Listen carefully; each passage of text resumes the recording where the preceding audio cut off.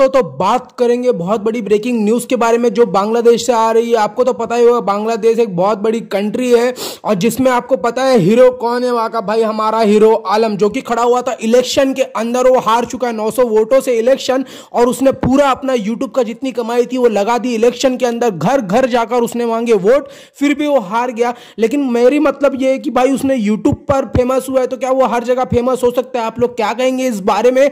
लेकिन उसने बहुत मेहनत की, जीतने के लिए घर घर जाके मांगे वोट, बच्चे से लेके बड़े तक तो उसके सभी के मुँह पर एक ही नाम था, hero Alam hero Alam hero Alam जीत सकता था, लेकिन वो हार गया 900 वोटों से।